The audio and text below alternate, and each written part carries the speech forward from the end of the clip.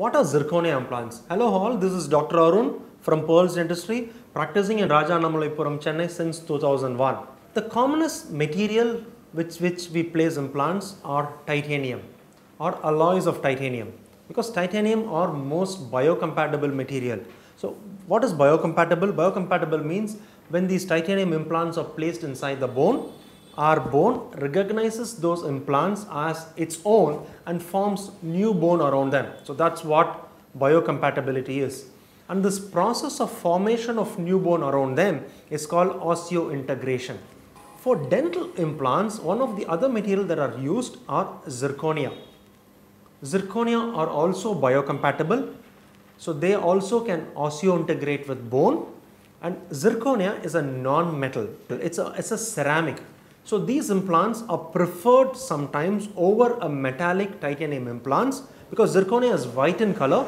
So when there is uh, the zirconia is white in color, when we give teeth on top of these implants, we can give more natural looking tooth on those implants. So having said that, are zirconia implants common? Implant dentistry itself is an evolving field. There's a lot of research and development constantly taking place. Uh, the available research says that zirconia implants are very safe, predictable way of getting it done.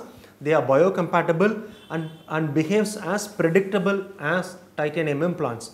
Having said that, there are very, very few dental companies that actually manufacture zirconium implants and it's not so common in the market and it's not so widely used because Titanium, because of its metal, also its biocompatible nature, it helps us to do a lot of designs for dental implants using titanium for varying clinical situations.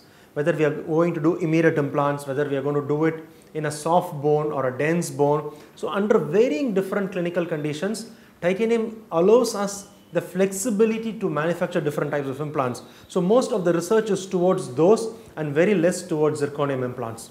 So zirconia implants possible but very few and very rare is done. Thank you. This is Dr. Arun signing off from Pearls Dentistry. Until next time, thank you and bye bye. Do you like the video? Press the like button. Do subscribe and click on the bell icon to receive such videos. Thank you.